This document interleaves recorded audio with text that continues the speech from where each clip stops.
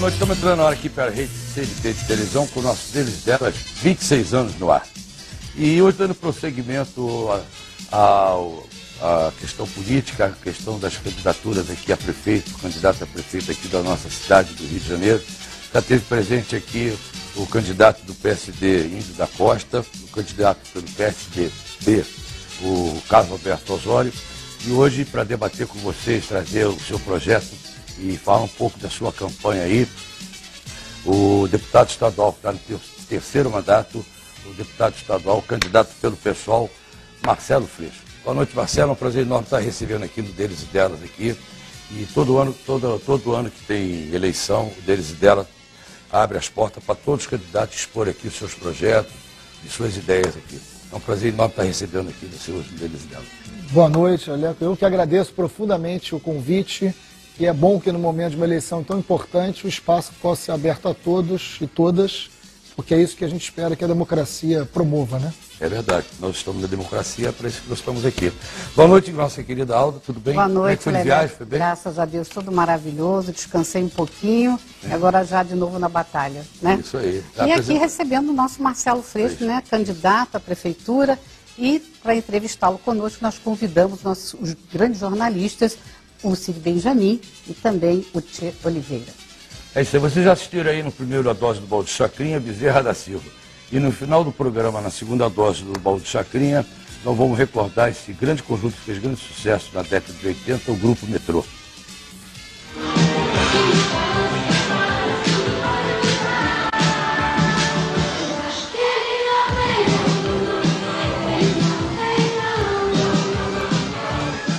Bom, então no final do programa no Balde Chacrinha, na segunda dose do baú, o grupo Metrô. Fantásticos, grande sucesso na década de 80.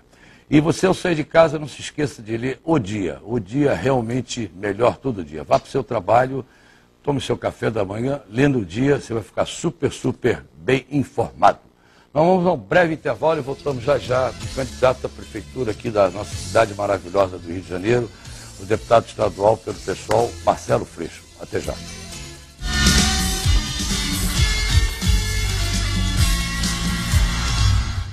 Olha, nós estamos hoje aqui com o candidato à Prefeitura da cidade do Rio de Janeiro, pelo PSOL, Marcelo Freixo. Eu vou começar. O, o, o deputado Marcelo Freixo, ele é professor de História e atuou muitos anos. Inclusive foi diretor né, do Sindicato dos Sim. Professores. Então, eu vou começar perguntando exatamente por essa área, que eu acho que é uma área que ele entende bastante, certamente, com certeza. Eu queria lhe perguntar o seguinte: o que, que o senhor acha que está acontecendo na educação hoje? O que, que o senhor mudaria? O que, que o senhor faria para melhorar a situação das nossas escolas, dos nossos professores? Eu acho que isso é uma área, já que o senhor é desse, né, do meio de professores, o senhor tem vontade de melhorar essa área, né? Gostaria que o senhor começasse por aí. Uma área claro. importante, né? Não, a educação é a base né, da, de qualquer educação. coisa, né? Eu acho que não tendo educação, então acho que às vezes a gente precisa muito dar uma força grande nesse nesse setor, porque me parece que está um pouco com alguns problemas, não? São muitos os problemas e você sabe que a gente tem uma quantidade muito grande de educadores que influenciaram várias gerações no mundo inteiro. Um deles é o Paulo Freire, né, um grande educador nordestino, foi secretário é, de Educação em São Paulo, na época da Prefeitura da Erundina, e o Paulo Freire dizia que é preciso aprender a ler o mundo. Então, acho que a primeira coisa que a gente tem que pensar quando se fala numa educação pública é que a Secretaria de Educação ela tem que cuidar da educação da cidade e não só da escola. Né? Educação não é só escola. Escola é um departamento da Secretaria de Educação. Educação é algo muito maior. Diz respeito à relação entre as pessoas, a relação da escola com seus territórios, a relação da escola com os pais dos alunos. É muito mais do que o que cabe numa sala de aula. A educação tem que ser muito transformadora. Eu sou professor de História 20 anos de sala de aula, sustentei meus filhos né, com, com a sala de aula, sou filho de pai e mãe, funcionário público de escola pública. Seu pai era inspetor né? de colégio? Meu pai era inspetor de colégio, minha mãe secretária de colégio, são aposentados com salários atrasados e não pagos em dia, né? É, diga-se de passagem, mas eles, é, enfim, a escola para mim representou toda a minha formação, toda a minha militância, eu tenho um significado muito forte na minha vida. A educação hoje no Rio de Janeiro, só para dizer também importante, a importância da educação numa cidade como o Rio de Janeiro, a gente tem a maior rede de escolas da América Latina.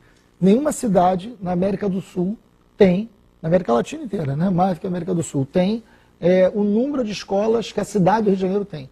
Né? São mais de 1.500 escolas. Então é uma quantidade enorme. Dentro da cidade do Rio Dentro da cidade do Rio de Janeiro. 1.500 escolas É, municipais. municipais. Pouca gente sabe disso, viu, Leleco? É, e é um negócio incrível. assim, o que, que então um projeto transformador de educação não seria capaz de fazer, não para a escola, mas para a cidade? Por isso que eu comecei dizendo que um projeto de educação ele tem que cuidar da cidade, ele tem que pensar a cidade. Aí tem alguns elementos que são fundamentais. Né? Você tem que ter autonomia do professor. Hoje não tem. Hoje, nós temos muitas escolas e eu converso muito com os professores, me encontro muito com os professores. Essa semana agora eu tive em Oswaldo Cruz me reunindo só com professores e as, as escolas estão sem alma. Isso eles dizem, é uma fala de uma professora há 20 anos em sala de aula. As escolas estão sem alma. O que, que essa professora está dizendo com isso? Eles não têm autonomia, eles não decidem o material pedagógico. O território que cada escola está não interfere em nada no projeto pedagógico daquela escola. Isso é um absurdo, isso é uma insensibilidade né, porque são tecnocratas que cuidam da Secretaria de Educação que nunca estiveram em sala de aula. Então, o que, que acontece? É, uma escola Rocinha não é igual uma escola em Realengo, não é igual uma escola na Maré. É, o aluno não é o mesmo. Você tem uma realidade social, que por mais que você tenha que ter um programa mínimo, mas você tem uma realidade social que interfere na vida daquele aluno. O aluno que uma escola recebe é um aluno que vem de uma realidade social. Se a escola é incapaz de ler aquela realidade social, não permite que o aluno leia o mundo.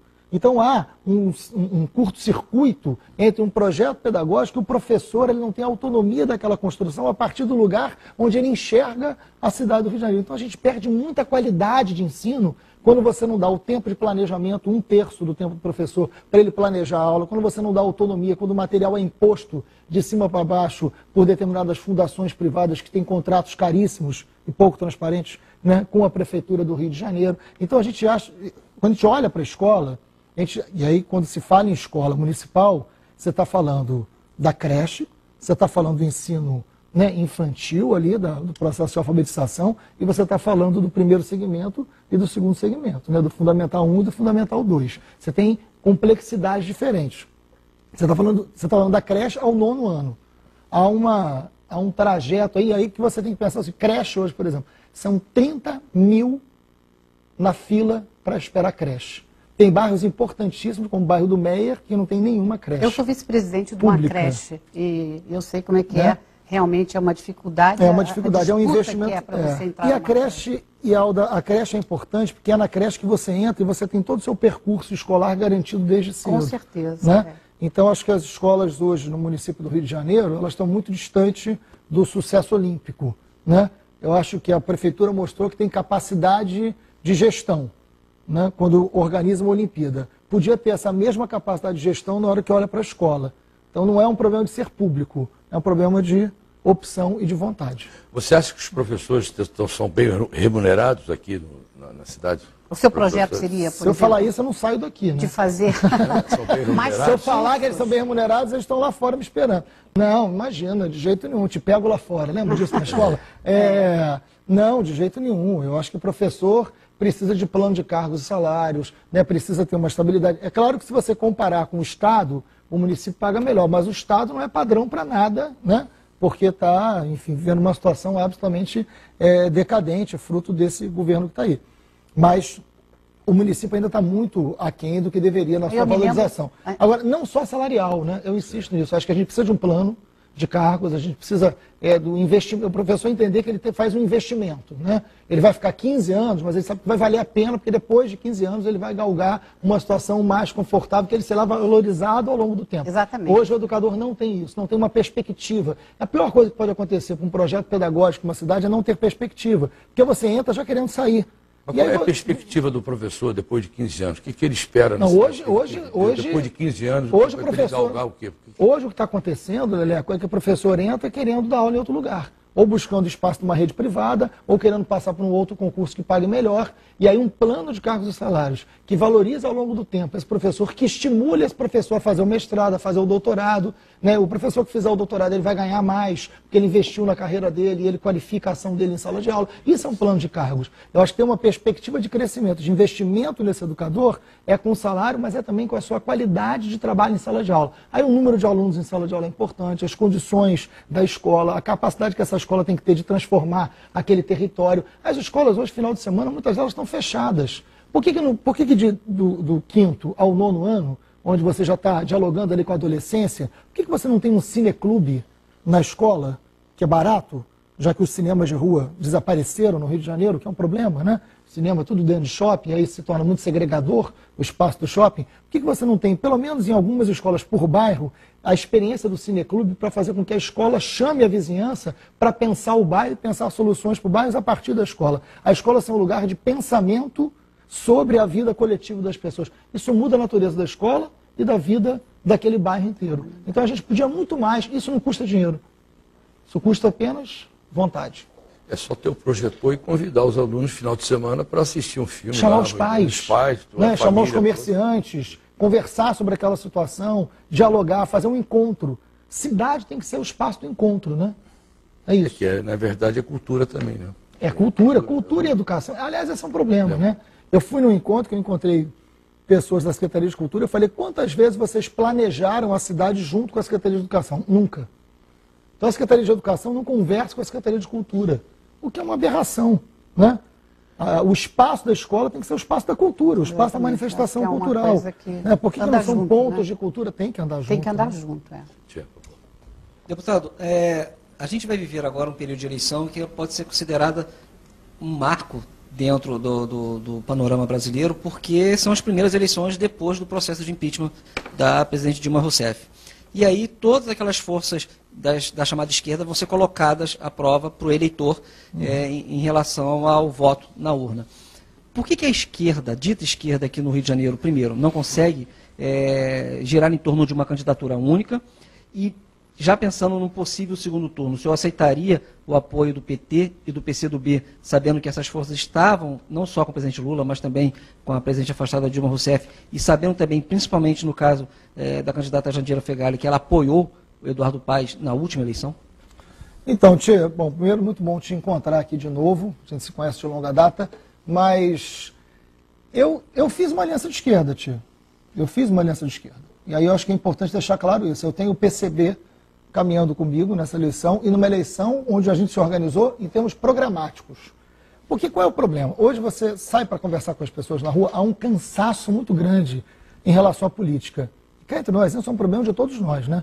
A hora que a sociedade cansada da política, é muito ruim para a gente. É um desgaste muito grande que tem. É um desgaste muito grande. Mas não tem saída para o mundo se não for pela política.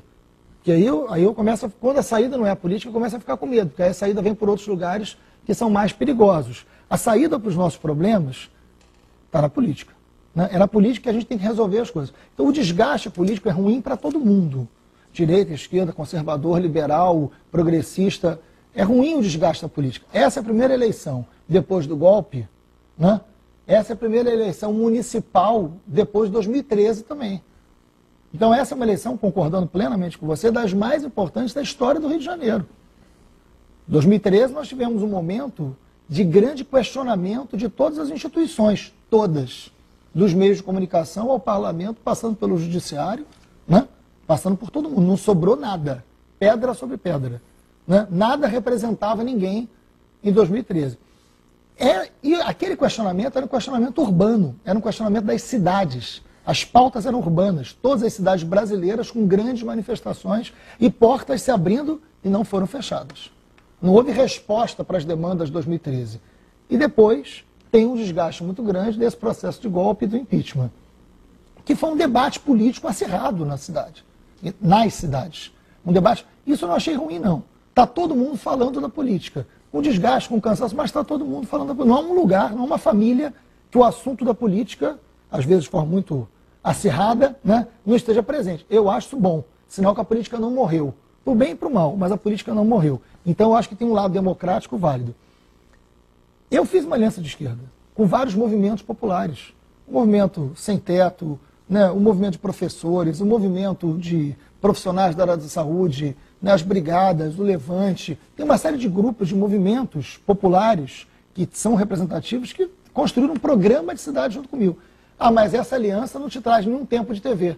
Exatamente. Eu não priorizei, uma aliança que fosse calculada com tempo de TV, para eu ter mais chance. E a troca sempre é o quê? Distribui secretaria. Né? Você é dono de um partido, você me apoia, tem alianças aí com 20 partidos. Haja capacidade de entendimento, né? Ou secretaria para ser distribuída. Isso eu não fiz, porque é aí que nasce a corrupção. É aí que nasce a razão do desgaste da rua com a política. Porque você faz do apoio político um mercado. E como resolve Né? isso no segundo turno? Então, essa é uma eleição de dois turnos. Porque se de alguma maneira existe a minha candidatura, existe a da Jandira e existe a do Molon, do outro lado tem cinco candidaturas, pelo menos. Né? A direita, o setor mais conservador, está dividido em cinco. A gente está dividido em três. A novidade dessa eleição não é a esquerda dividida. A novidade dessa eleição é que a direita está dividida. Como há muito tempo não estava. Então, eu acho que é uma eleição para dois turnos. É uma eleição pulverizada, típico do momento que a gente está vivendo. Como foi pulverizada a eleição de 89, vocês vão lembrar bem, para a presidência da República. Foi uma eleição muito pulverizada, tinham vários candidatos. Por quê? Era a primeira eleição direta depois da ditadura civil-militar.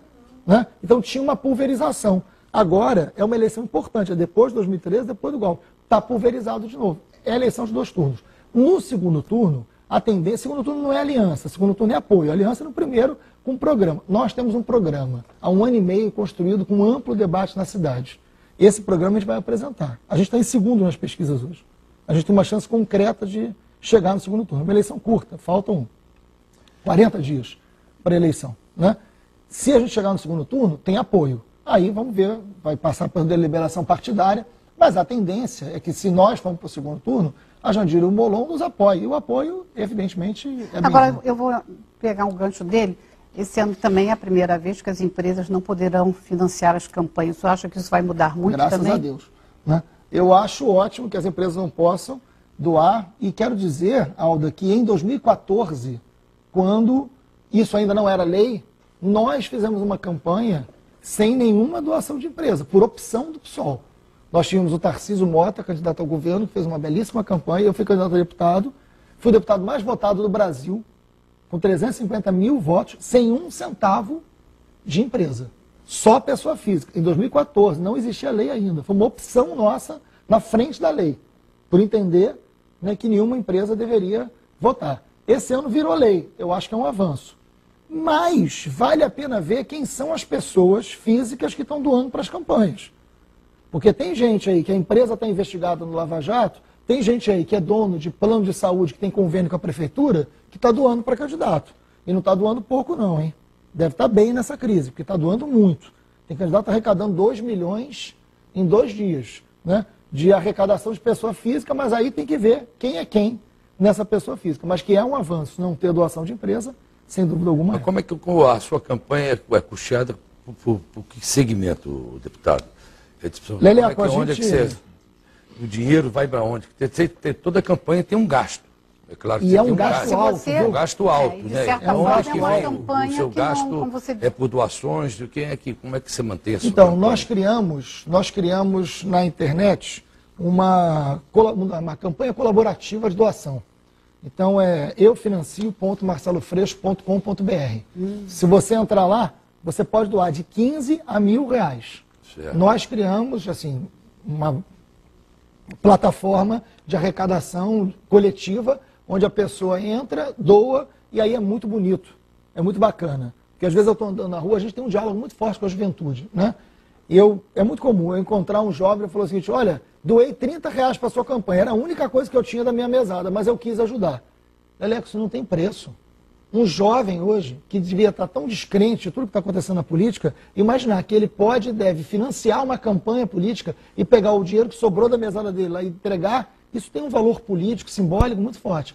A gente já representa hoje a maior arrecadação da história das campanhas. Não em termos de valor financeiro, porque aí é incomparável, mas em termos de doadores, a gente tem já uma quantidade muito maior do que a Dilma conseguiu de doadores na campanha presidencial dela. Então a gente está batendo todos os recordes de doadores, não de valor. Mas a gente vai financiar toda a campanha com a doação de pessoa física pela internet, que é o modo mais seguro e mais transparente também, né? Leleco, só se você me permite uma parte, ainda a respeito de financiamento de campanha, o fato de terem descoberto uma doação de uma empresa que hoje é envolvida na demolição da comunidade da Vila Autódromo, que foi ali praticamente 2012. devastada por conta do- da construção do Parque Olímpico, isso te constrange hoje? Nem um pouco. Primeiro é bom dizer, tia, que a doação da empresa foi em 2012.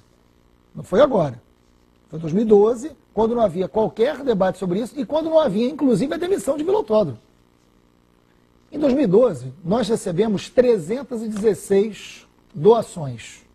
Sabe quantas pessoas físicas doaram e quantas pessoas jurídicas, quantas empresas? Três empresas só doaram. Três empresas doaram. De 316. Uma delas era a empresa do Caetano Veloso, que fez um show junto com Chico Buarque e doou. E a outra delas, e uma terceira que eu não, estou lembrando, mas era uma, ah, uma empresa João Tancredo, que é um advogado, e a terceira era a Demolidora. Essa Demolidora foi indicada por um candidato PSOL que eles iam ajudar para vereador.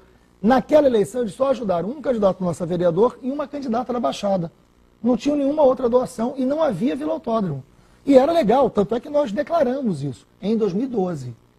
Em 2014, nós fizemos uma leitura política e falou assim, não vale a pena nenhuma empresa doar. Em 2015, ela foi contratada pelo PMDB né, para demolir a Vila Autódromo. Isso não tem nenhuma relação com 2012, né, quando eles doaram lá atrás para a gente. Então não há nenhuma contradição, nós declaramos e não tem nenhum problema nisso. Sim, por favor. Marcelo, você se referiu aí a 2013, onde Sim. tudo começou com transporte, por tais 20 centavos. Depois, enfim, as reivindicações mais diversas se, som se somaram aí. É, em relação ao transporte, há uma grande insatisfação no Rio de Janeiro. Dizer, há bairros que a partir de certa hora não tem ônibus. Recentemente a prefeitura cortou as linhas de ônibus de forma que a pessoa tem que pagar duas passagens, tem que pegar mais de um ônibus, em vez de pegar aquele ônibus pega, que, que, que tomava antigamente, etc. É, eu soube outro dia, que me deixou muito surpreso, que a prefeitura calcula as tarifas de ônibus sem que tenha um mecanismo próprio para aferir qual é a receita e qual é a despesa que ela tem. Ela recebe esse, essas informações das empresas e trabalha em confiança. A partir daí calcula a tarifa. Isso é uma encrenca. E a cada eleição isso é levantado e a cada eleição os candidatos dizem, não, vamos tomar conta dessa história. Então, você eleito, o que você pretende fazer para controlar esse poder enorme das empresas de ônibus no Rio de Janeiro? Marcelo, tem que dar uma paradinha para pedir o nosso break comercial. Claro. Você responde a pergunta do Cid logo após o nosso break comercial. Nós estamos recebendo hoje aqui no Deles e Delas o candidato a prefeito pelo pessoal, o deputado estadual Marcelo Freixo, hoje aqui no Deles e Delas. Então vamos a um rápido intervalo e voltamos já já.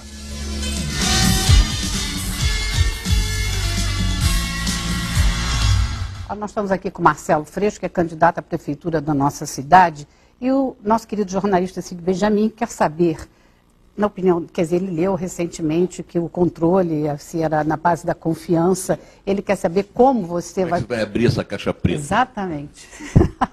Só o Cid para chamar isso de confiança, né? Mas, mas, na verdade, Cid, é... sempre que um jornalista me pergunta qual é a primeira medida, né, essa é uma pergunta difícil para quem é candidato, porque você desagrada muita gente na hora que você diz uma prioridade, porque quem não concorda não se sente ali contemplado. Mas eu tenho dito que o debate da mobilidade urbana é, sem dúvida, um dos debates mais importantes, se não o mais importante da cidade do Rio de Janeiro. E olha que eu falo com muita tranquilidade, sendo professor né, histórico na luta dos educadores, ali o tempo todo, da saúde pública, né, enfim. A gente também tem uma intensidade muito grande. Agora, o direito à cidade passa pela mobilidade. A população de Campo Grande hoje não tem direito à cidade do Rio de Janeiro. Né? Porque ela leva duas horas e meia, quem trabalha no centro, para chegar ao trabalho e duas horas e meia para voltar. Não tem direito, passa cinco, quatro horas por dia em transporte público. Você não tem direito à cidade. Você, dependendo do bairro que você mora, no subúrbio do Rio de Janeiro, à noite, você não tem direito a ir para o bairro que você queira se divertir, porque você não tem como chegar. Né? Então, tem, então o, o, debate da mobilidade é mais do que um debate do deslocamento da pessoa. É um debate do direito à cidade. Então ele é essencial numa cidade mais democrática que a gente quer hoje. Mas né? você não acha com... com, e... com, com... Não, pode, pode continuar, continua. Não, o que, que acontece hoje? Na verdade, para ser muito honesto, a FETransport faz o que quer no Rio de Janeiro. O que quer e o que não quer né? no Rio de Janeiro. Eles dominam completamente toda... Quer ver um exemplo concreto disso? E aí tem medidas que a gente já programou. Primeiro que a gente vai transformar a Secretaria de Transporte em Secretaria de Mobilidade.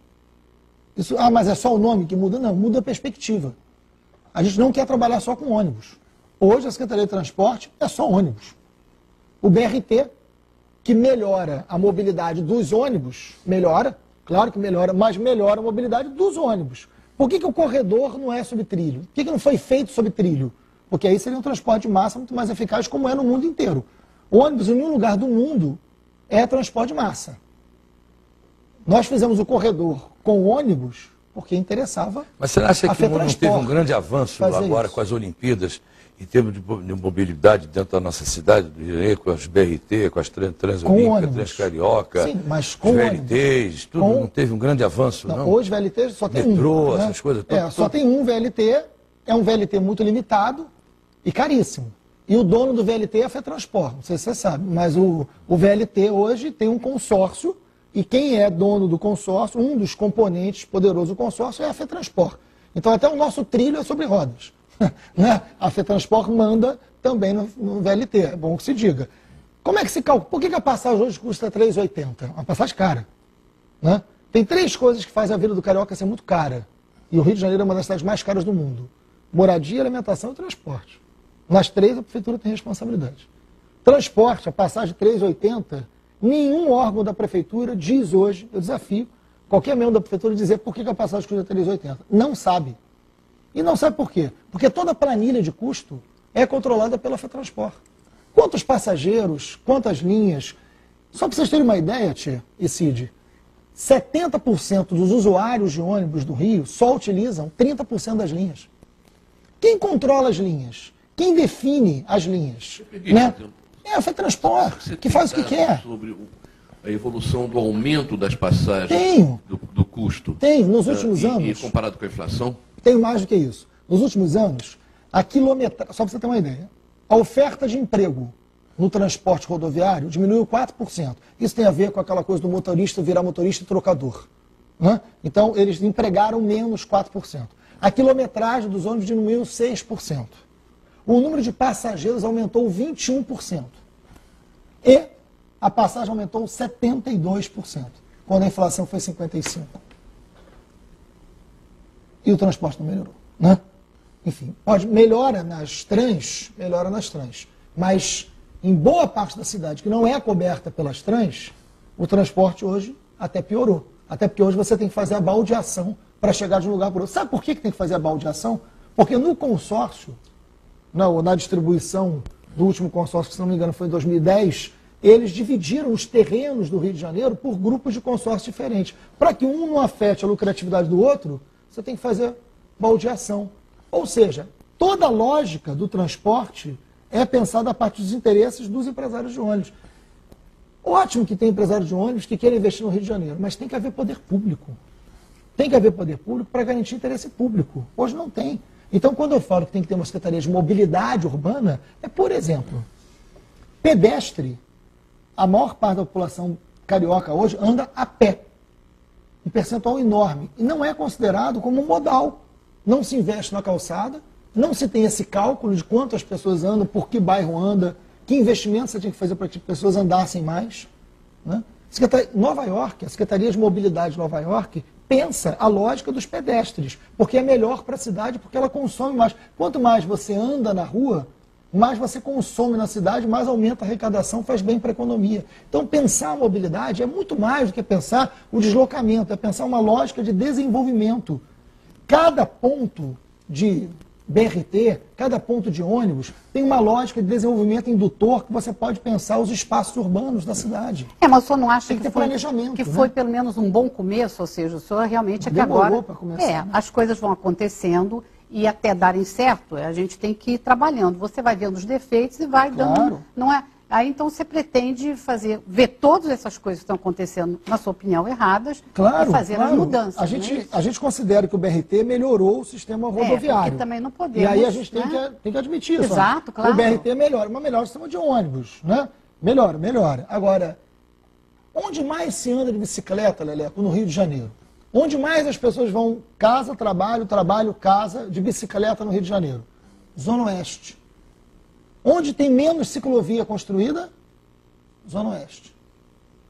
Onde que as bicicletas e as ciclovias estão na administração pública do município? Secretaria de Meio Ambiente. Sabiam disso? Não está na Secretaria de Transporte. Porque não interessa a FETransport. Então a gente quer uma Secretaria de Mobilidade para pensar, inclusive, o uso da bicicleta como um modal de transporte, como acontece nas cidades mais inteligentes do mundo. Por que, que do lado das estações de metrô, tia, por que, que do lado das estações de metrô, por que, que do lado das estações do próprio BRT não tem um bicicletário seguro para que as pessoas possam ir de bicicleta e ali pegar um outro modal? De repente você economiza né, um ônibus, você torna mais saudável, mais inteligente, mais viável uma cidade. A pessoa economizar uma hora, duas horas por dia de transporte faz uma diferença enorme na qualidade de vida da pessoa, né? É disso Mas que já melhorou muito, Lembrando né? que já... a gente antigamente nem é. tinha é, meio de andar de bicicleta. Dizer, hoje em dia, agora, hoje em dia, ainda tem alguma coisa ainda. Tudo está começando. Mas a, a, você vê, Algumas você vê, estão começando e estão caindo. É, não, caiu por, por, pela natureza, né? Foi uma, uma, tragédia que aconteceu, aquela tragédia lá. Freixo, ainda dentro desse tema de mobilidade, como é que, num possível governo seu, a problemática entre táxi e Uber vai ser resolvida? Ah, isso é uma grande polêmica. Isso é um problema é verdade, bem, é. muito sério, né? Esse é um problema seríssimo. complementar, independentemente disso. Como é que você pretende abrir a caixa preta? Porque constatou-se a caixa preta do FETransport e dos ônibus. Como é que isso pode ser aberto? Tá, vou responder as duas coisas. Primeiro que a gente quer criar, não, e foi bom o Cid falar isso porque eu tinha esquecido de um ponto importante, Cid. A gente quer criar uma empresa pública de mobilidade. E aí, quando fala empresa pública, tem muita gente que se apavora, né? é verdade, porque a gente. Não é? A tudo empresa... que começa público, você sabe, né? É complicado é. a gente é, hoje em mas dia. Mas eu, eu não acho isso da Conlurb, por exemplo, que é público e ninguém pensa em privatizar. Né? Eu acho que é bom. A Olimpíada foi feita de forma pública. Foi boa, né? É, enfim, eu acho que tem coisa pública que é boa. As Olimpíadas você achou que. Né? que tem um monte de problemas. Né? A gente tem as escolas sem quadra poliesportiva, tem o Célio de Barros fechado. Eu acho que ele desperdiçou muita coisa. Mas que a população conseguiu curtir, aproveitar, enfim, nós não tivemos maiores problemas, ainda Verdade, com né? Eu acho que o povo carioca aprendeu a separar a crítica da possibilidade de ser feliz. Vamos curtir, vamos torcer, sem perder a crítica. Eu acho que essa é uma sabedoria que a gente avançou, ainda bem. Eu adorei assistir os jogos e não perdi opinião crítica sobre nada, mas assisti lá, torci. Né? Torci viu o lado bom, mulheres. né? E viu as críticas. Exatamente. Mas a gente quer criar uma empresa pública de mobilidade, não é para ser dona de ônibus, não é isso. Mas, por exemplo, para calcular a tarifa. Quem tem que calcular a tarifa é o poder público. Não pode ser o dono do ônibus que vai. Você quer ver um exemplo? Os ônibus têm que ter GPS. Os ônibus hoje têm GPS. Qual é a empresa que ganhou a venda de GPS para colocar GPS no ônibus? A Fé Transport. Parece piada. Né? Então, quem controla as informações do GPS que deveriam monitorar e fiscalizar os ônibus? Os próprios empresários de ônibus. Porque você tem uma lacuna, um vazio de poder público na mobilidade. Não pode. Mas isso né? é feito por, por então- concorrência, então, deputado? A concorrência que eles não, fazem? Tá bom, mas, mas e a informação do GPS tem que chegar a algum lugar. Chega para onde? Né? Porque não é para ter um GPS para ter um aparelho, é para ter um GPS para monitorar, para ver o horário, a qualidade, quando chega, o atendimento. É para servir melhor a população. Para isso você tem que ter uma empresa pública que não é para ser dona do ônibus, mas para calcular, por exemplo, quantas linhas. Quem vai criar linha, por onde essa linha vai passar? Para fiscalizar e para gerar uma política pública de mobilidade, para pensar a integração dos modais, o desenvolvimento a partir de cada um desses modais. Isso a gente quer, e aí eu acho que é um passo importante para quebrar essa caixa preta, que não será fácil. E, e tia, essa semana a gente teve um motorista de Uber assassinado. Foram dois, né? É, dois. Em Niterói, e teve um outro assassinado. Foram dois essa semana. É, o outro, eu não estou Enfim, isso é muito grave, mas cá entre nós, nenhum de nós é, acha estranho que isso já estava para acontecer há muito tempo. Né? Os conflitos estavam ali acontecendo. São Paulo avançou nesse debate. A cidade de São Paulo avançou. Por quê? Porque eles regulamentaram o Uber. Tem um problema grande quando você vai falar do Uber ou do táxi. É, eu tenho sido muito procurado pelos taxistas, muito. Tem um grupo grande de taxistas que está num limite do desespero. Por quê? Porque são diaristas, os caras pegam o táxi, naquele dia ele tem que pagar 200, 250 reais. Essa é uma outra caixa é. preta, né? É isso que eu ia falar. É isso que eu ia falar. Porque ninguém trata disso como caixa. A prefeitura finge que isso não existe. A prefeitura finge que não tem máfia ali. Nos ônibus, o próprio Tribunal de Contas já chamou de cartel. Quando o Tribunal de Contas chama de cartel é porque ninguém tem dúvida. Né? No táxi, ninguém fala nada. Né? Nós sabemos que tem meia dúzia de pessoas no Rio de Janeiro que são donos de centenas de táxis, o que é ilegal. Não pode. Autonomia individual. Por que, que ninguém mete a mão nisso? Quem serão essas pessoas? Deve ser muito poderoso, mas a gente tem que saber quem é. Né? Porque essa diária é uma exploração escravocrata sobre o taxista. O poder público tem que meter a mão nisso, porque finge que não acontece nada. O Uber cresce hoje numa lacuna deixada pelo serviço de táxi. Tem um preço que é desigual, isso não pode. Então, o Uber tem, se o Uber vai existir, ele tem que ser regularizado, tem que ser taxado, tem que ser controlado. Não dá para qualquer carro virar Uber da noite para o dia. E se cada um pode virar de uma noite para o dia motorista de Uber e tudo bem, né? Não há uma arrecadação da prefeitura, não há um controle. Esse tem que ser um serviço complementar e tem que melhorar o táxi. Porque muito usuário do Uber, quando a gente conversa, ele diz o seguinte, não, eu estou no Uber porque é mais barato, mas não é só porque é mais barato. Porque às vezes o serviço é melhor. Né? E aí tem que melhorar o serviço do táxi. Mas tem que investir no taxista. Que já está melhorando qual também. É, qual é o investimento melhorando. do poder público no taxista hoje? Só sabe cobrar. Só sabe cobrar, multar. Né? E eles estão reclamando muito desse processo olímpico, onde eles foram escanteados. Né? Ora, a gente tem que ter curso de capacitação, de formação, investimento nesse taxista, controle dessa exploração diária que não pode acontecer, para que esse serviço de táxi sirva melhor a essa população e, ao mesmo tempo, regulamentar o Uber. Né? Ao ponto do Uber poder ser um serviço que não inviabilize a vida do taxista e que possa atender a uma determinada Parece que você tem uns, mais de 30 mil táxis aqui pela cidade e coisa de quase menos de 2 mil Uber, um número mais ou menos desse. Eu acho que ninguém sabe número. quantos Ubers tem porque não é regulamentado, não é controlado. Acho difícil que alguém diga hoje o um verdadeiro número, porque é isso, é uma coisa solta, isso não pode acontecer. Agora, a prefeitura que... até hoje foi muito irresponsável em relação a isso. O que eu já percebi também é que os próprios taxistas, né, particularmente cada um, eles estão assim, querendo melhorar. Eu vejo quando claro, eu pego um táxi claro. que eles oferecem alguma coisa, eles são super gentis, perguntam se está incomodando a música, não sei o quê, o que a gente não via antigamente, a gente só se queixava de taxista. Então, acho que para eles foi até um, uma concorrência que deu uma, assim, uma forma deles é, melhorarem Alda, o trabalho tenho, deles. Eu né? não tenho dúvida nisso, e se a prefeitura então, eles criar... merecem ser apoiados. Eu acho que eles merecem muito, o taxista merece muito. Eu, eu acho que se, o, se a prefeitura abrir né, estender a mão e dizer, olha, a gente quer capacitar vocês, a gente quer melhorar, a gente quer qualificar, né? não tenha dúvida, terá um retorno desse taxista e o serviço melhora para a maioria da população. Agora eu queria perguntar a você sobre jovens. Você tem sempre, você falou no, no bloco passado, anterior, e do seu apoio que você recebe dos jovens, que os jovens estão ajudando a sua campanha. Você já em 2012 você foi muito apoiado pelos jovens. Em 2013 nós tivemos aquelas confusões aqui na cidade. E realmente aquelas jovens que naquela época você até apoiou bastante, os jovens naquela época que tinham 15 anos, hoje certamente que já estão com 16. É. O que, que você acha? Eles vão votar em você? Eu tenho assim, uma preocupação porque você sabe que às vezes o jovem, a gente fala que está afastado da política, mas ao Sim. mesmo tempo ele quer estar na política. É porque ele não tem confiança nos políticos, a verdade é essa. E eu me lembro quando eu era do TRE que nós fizemos um, um projeto, que, é, que é, quer dizer, um projeto de Brasília, claro, uhum. que era o projeto Eleitor do Futuro. E esse projeto, eu era coordenadora estadual, e nós fazíamos campanhas para esse jovem de 16 anos exatamente se inscrever, tirar claro. o seu, seu título de eleitor e poder votar e mostrar a sua cidadania e, e usufruir da sua cidadania. Isso que eu queria te perguntar. Você acha que esse jovem vai fazer isso? Vai para o TRE, vai tirar seu título eleitoral para te apoiar? Olha, já passou até um pouco o prazo, mas na verdade. Ou, ou se, vou, vou, voltar atrás. Acho, você acha que fizeram isso?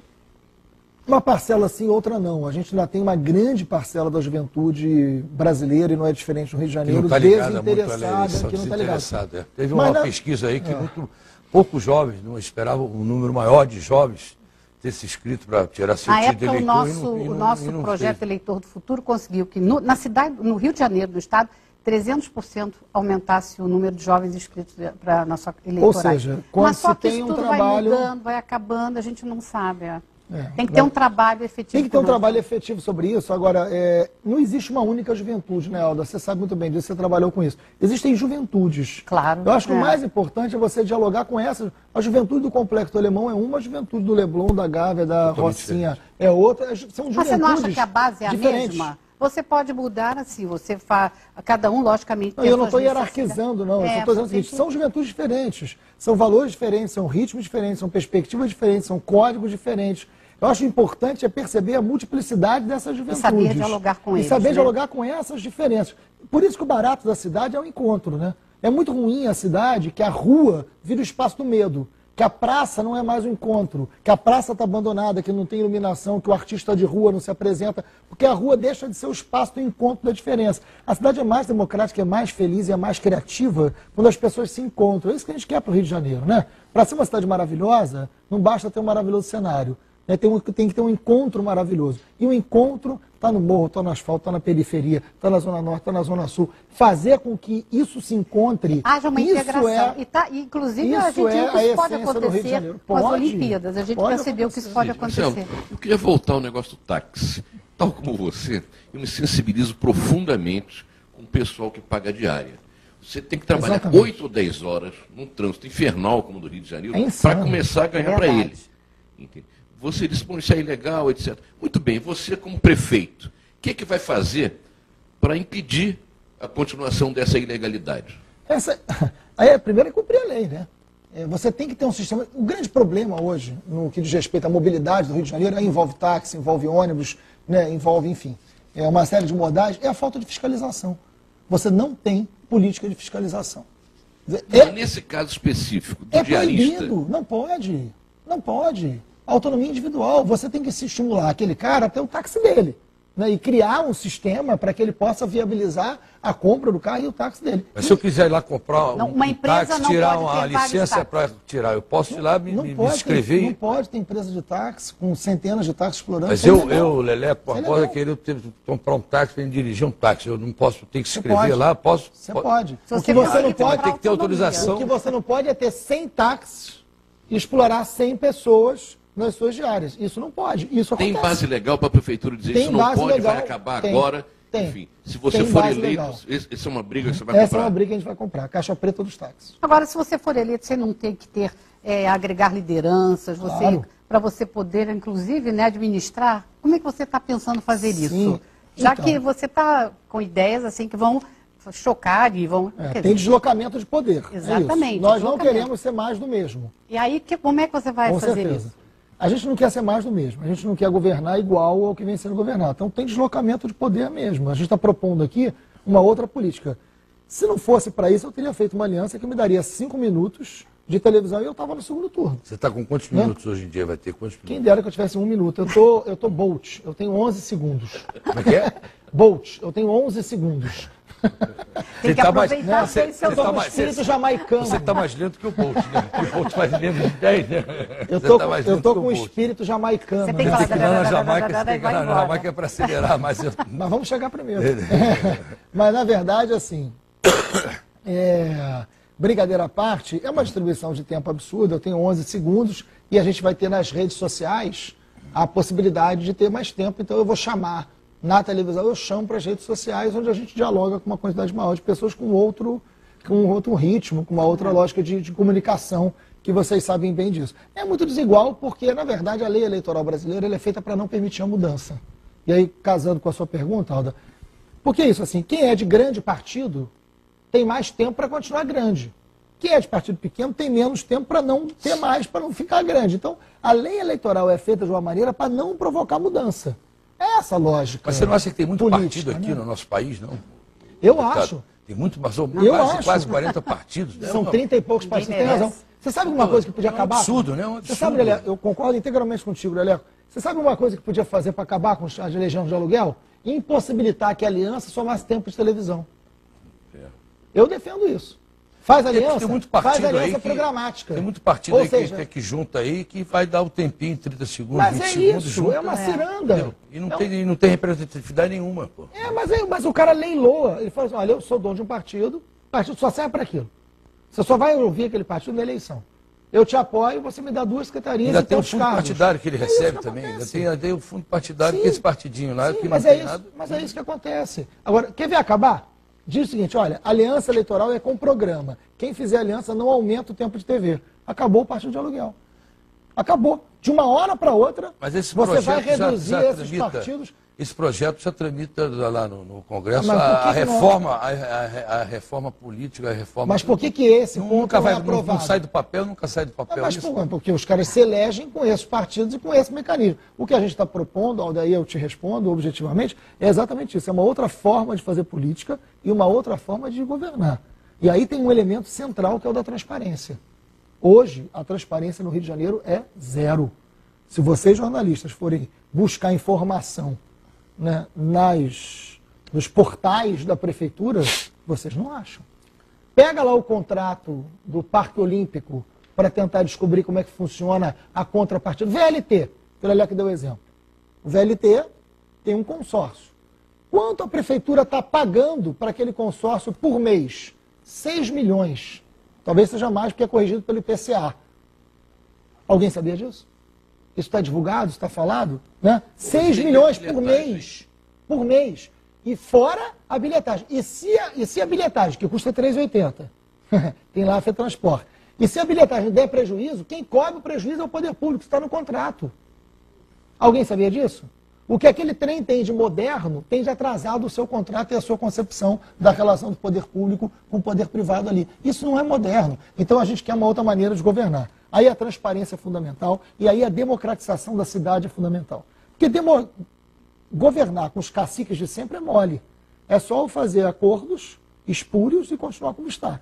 Não é para isso que eu estou disputando a eleição. Nós vamos a um rápido intervalo, voltamos já já um candidato a prefeito aqui da nossa cidade maravilhosa do Rio de Janeiro, deputado estadual pelo pessoal, Marcelo Freixo. Seja.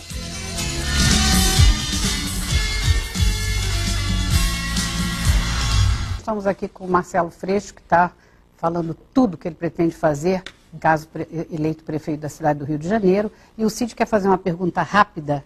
Só para terminar esse assunto de táxi, pelo menos da minha parte, você não acha que acabando com essa farra da, da, do de ter um, 200 autonomias e empregar os boia frios, é preciso ter um mecanismo de apoio a esse pessoal que é claro. diarista, porque claro. senão vão ficar numa situação pior. Vão, hoje estão super explorados, se simplesmente se proíbe isso, sem dar a possibilidade de que eles não.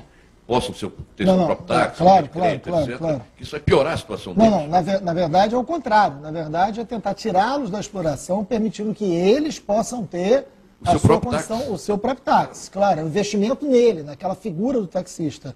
É, esse debate me lembra um outro debate curioso. E, e também é o seguinte, essa situação dos diaristas, eles são os que mais sentiram essa presença no Uber, né?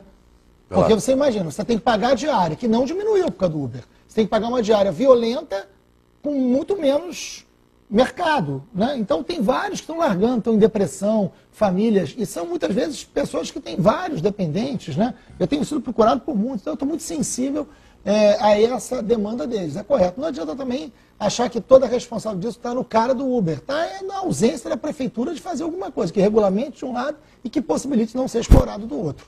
Né? Freixo, nos últimos governos municipais, a área da saúde ela foi praticamente entregue às organizações sociais, às OS.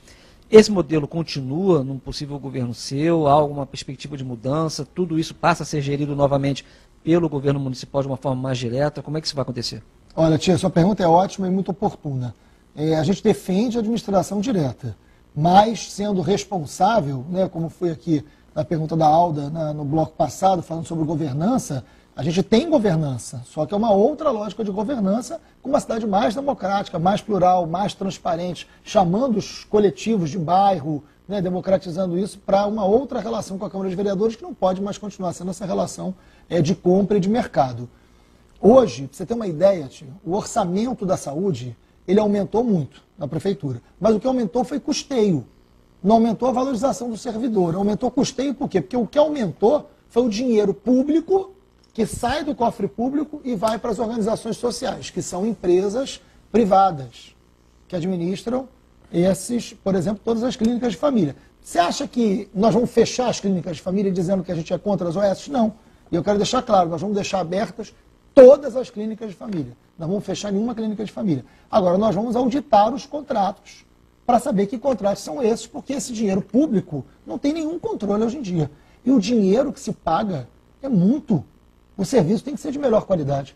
Só para você ter uma ideia, tio, todo o valor, todo o valor arrecadado com o IPTU no Rio de Janeiro é destinado para as OS da área de saúde, integralmente.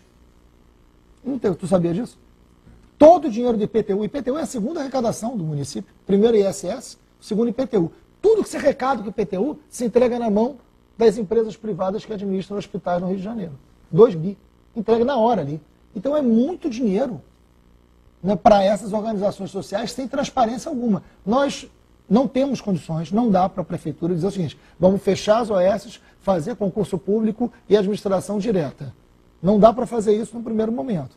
Mas nós vamos pegar contrato por contrato, vamos auditar, vamos ter controle sobre esse dinheiro para saber em que está gastando, para que tenha transparência total e qualificar com mais fiscalização cada um desses serviços. O grande problema ali não está no atendimento básico. Você teve uma expansão do atendimento básico. O que é importante, a gente quer manter e quer ampliar ainda. Mas o problema é que está a fila, a fila que antes você encontrava na porta da emergência, a fila está no computador.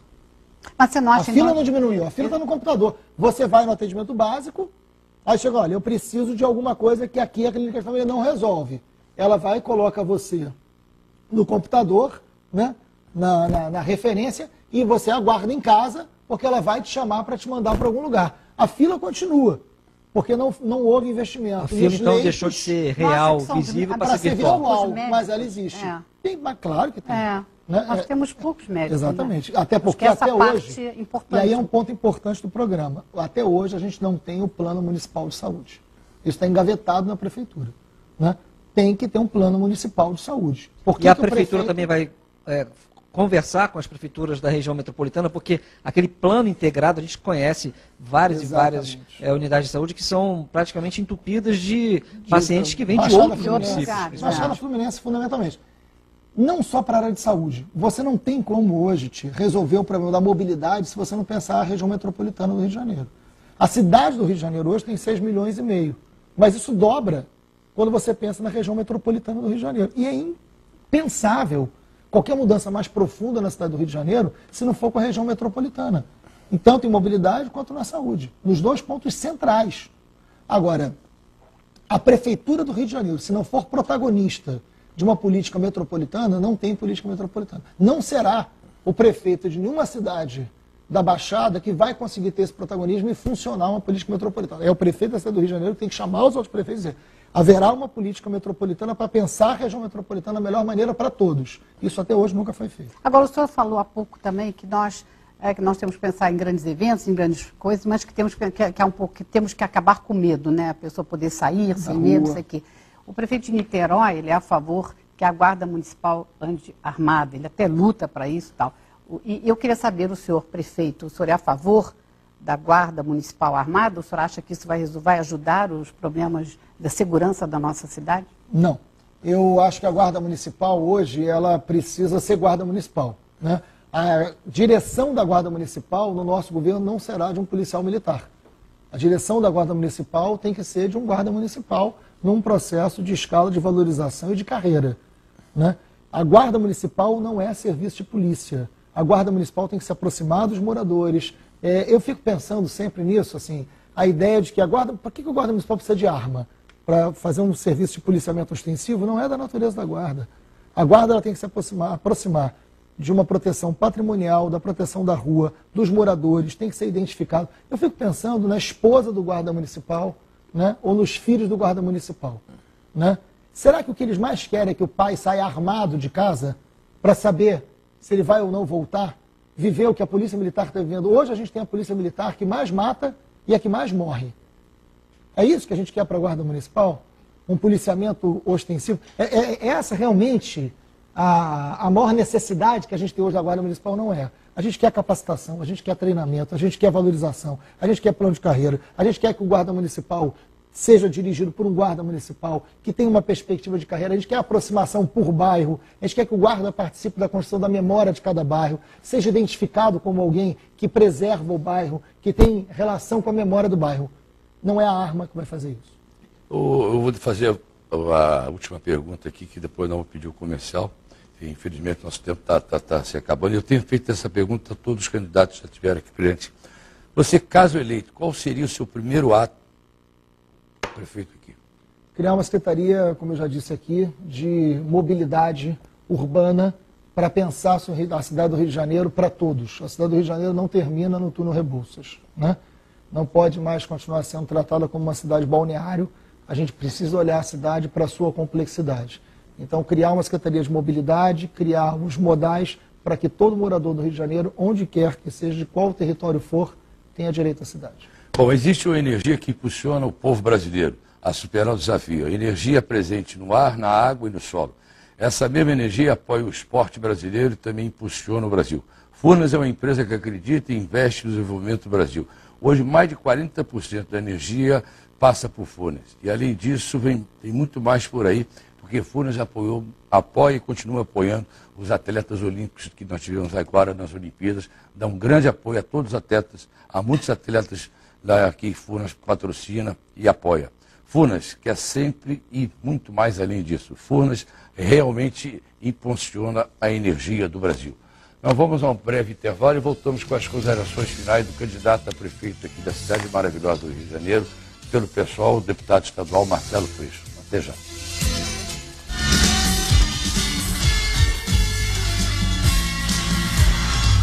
Bom, estamos chegando aqui ao nosso último bloco aqui do nosso deles e delas e hoje tivemos aqui conosco aqui o candidato a prefeito daqui da nossa cidade do Rio de Janeiro, pelo pessoal, o deputado estadual Marcelo Freixo. Eu gostaria de agradecer muito a sua presença aqui no nosso deles e delas. E antes de uma perguntinha rapidinho, antes de você fazer suas considerações finais. Tá Na última quinta-feira, a Bandeirante fez um grande debate com todos os candidatos a prefeito. Por que, que o senhor não participou, deputado?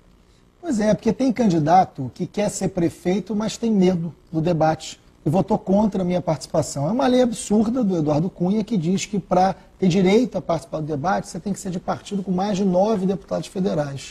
O pessoal hoje é a segunda maior bancada de, da Câmara de Vereadores, é a segunda maior bancada da Alerj, né? É, mas nós temos seis deputados federais, então eu não tenho o direito de participar. A Bandeirante me convidou para participar, mas alguns candidatos votaram contra a minha participação e a lei do Eduardo Cunha diz que dois terços dos candidatos têm que aceitar.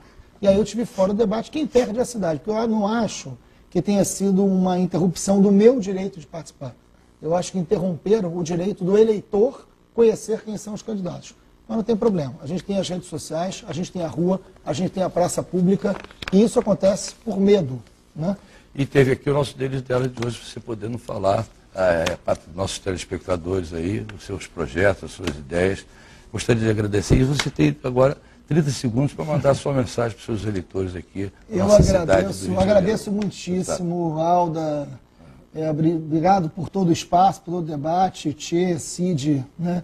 porque eu acho que esse espaço democrático possibilita que a gente toque aqui em diversos assuntos e a gente espera que isso possa chegar na casa das pessoas. Eu estou disposto a fazer qualquer debate em qualquer lugar. Eu acho que alguém que tem que almeja cargo público não pode ter medo do debate, medo das ideias. É lamentável que alguns candidatos a prefeito da cidade do Rio de Janeiro tenham medo do debate. Esse é o maior sinal de que não estão preparados para estar à frente da prefeitura de uma cidade tão complexa e importante como o Rio de Janeiro. A gente quer, sim, o um debate mais profundo da saúde, da educação, da mobilidade, do esporte. A gente acabou de ver uma Olimpíada, por que, que a gente não aproveita mais um calendário esportivo no turismo, né? Por que, que a gente não tem a cultura e como Foi um grande sucesso nossas como, Olimpíadas. Por que, que a gente não tem a cultura como elemento transversal, criando uma cidade mais democrática, mais feliz, que conviva mais com a diferença? Enfim, essa vai ser uma eleição que a cidade vai ser debatida e que modelo de cidade a gente vai viver é a grande escolha da gente esse ano. Obrigado pelo espaço. Isso. Nós é que agradecemos a sua presença, queremos agradecer aos grandes jornalistas, Cid Benjamin, também ao tio Oliveira, que está aqui hoje conosco. Quero agradecer estar com vocês essa noite nas casas de vocês. Um beijo muito grande e até semana que vem, se Deus quiser. Bom, e você não se esqueça de ler o Fluminense. O Fluminense é líder absoluto no Norte-Sul Fluminense, no Niterói, São Gonçalo. O Fluminense, não se esqueça de ler. Fique muito bem informado dentro do nosso O Fluminense. Deputado, sucesso aí na sua caminhada, Obrigado. entendeu? Pelo menos aqui o nosso Deles é um programa democrático. Todo, todas as vezes que tem eleições, nós procuramos e, e cumprimos, trazer, convidando todos os candidatos, entendeu? Tendo representação ou não tendo representação, para fazer, expor aqui isso as suas ideias, as suas propostas aqui. É isso que nós temos. Que é isso que a população quer, né, Léo? É isso aí. E nós estamos aqui abertos a todos eles. Todo, toda vez que tem eleição, um deles dela está presente. Sucesso aí na sua caminhada. Aí. Obrigado, Léo. Um abraço. Boa noite, Alda. Boa noite, Léo. Até semana que vem.